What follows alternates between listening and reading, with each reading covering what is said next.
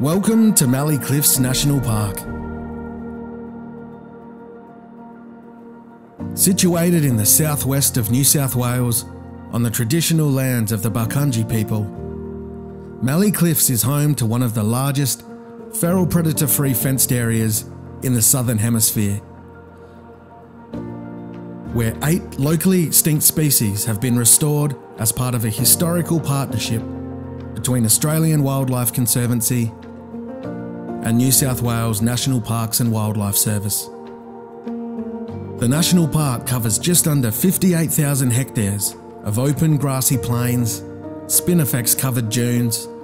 Belah woodlands, and old growth mallee. The bilby, greater stick-nest rat, numbat, brush-tailed bettong, red-tailed phascogale, Mitchell's hopping mouse, burrowing bettong, and the bridled nail-tail wallaby now once again flourish in a 9,500 hectare environment completely free of feral cats and foxes.